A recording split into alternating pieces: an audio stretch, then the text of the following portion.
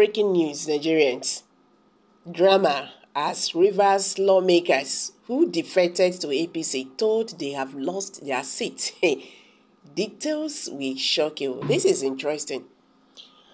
I think Nigerian politicians have to learn in the hard way, if at all we, there is any justice in this country.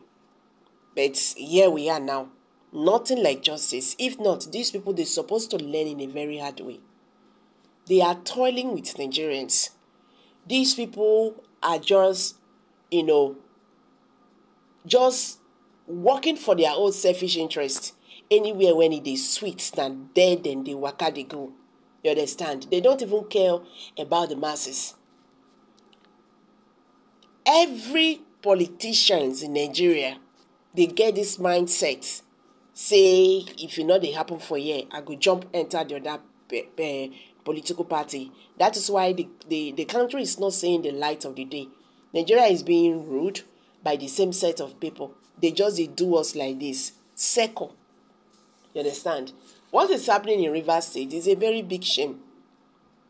It's a very big shame. It's a pity all these things are going on. Are we actually in a democratic uh, government? Because Nigeria, Nigeria has lost it. You understand?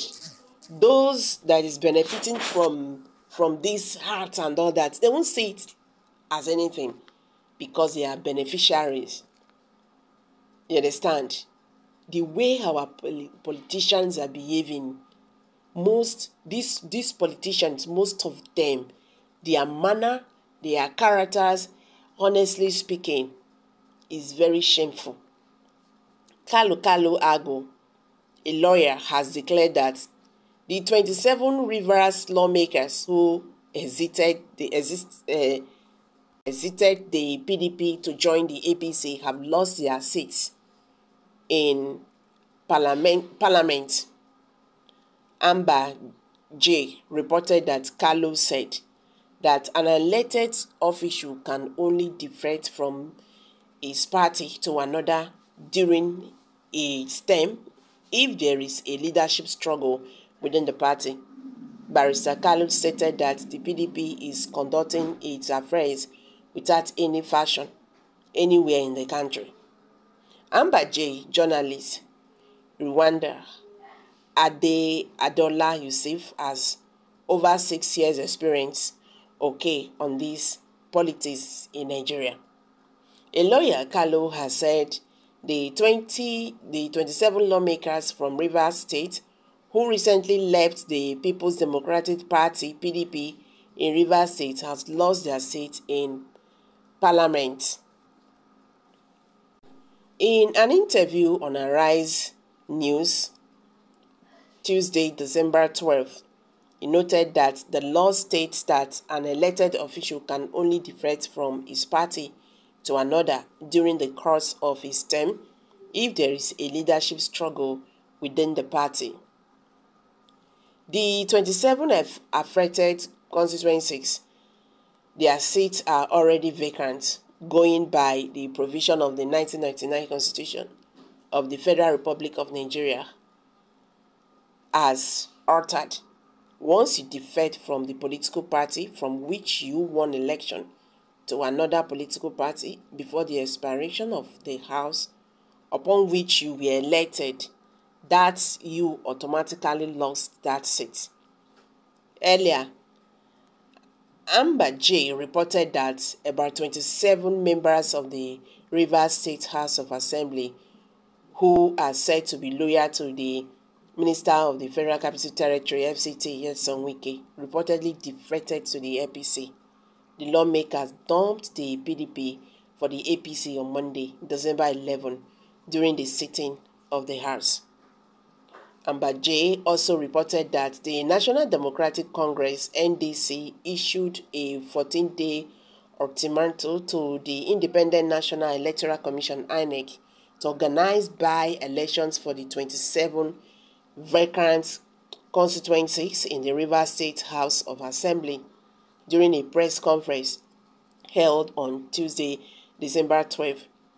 Daniel Okwa the group's convener expressed concern about the implications of the recent events in Rivers for democracy in the country.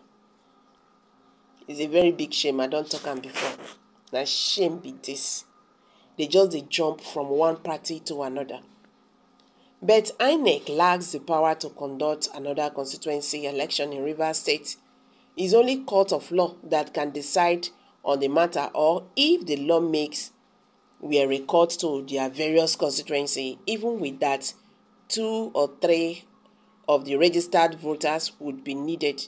INEC can conduct another election only if the lawmakers dies or resigning. I pity those lawmakers that joined Wike in this in his in in his nonsense polit politicking. Nigeria is in a mess. Unsatisfied politicians jumping from pillar to post. Okay. River State Attorney General should seek the pronouncement from the court to authenticate this constitutional position fast. Well, I will shock you that there is nothing like constitution in Nigeria. It doesn't go na so the matter go just go like that. You understand?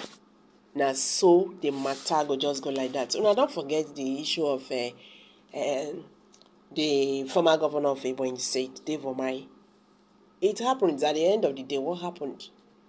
He jumped from PDP to APC while he was still a governor.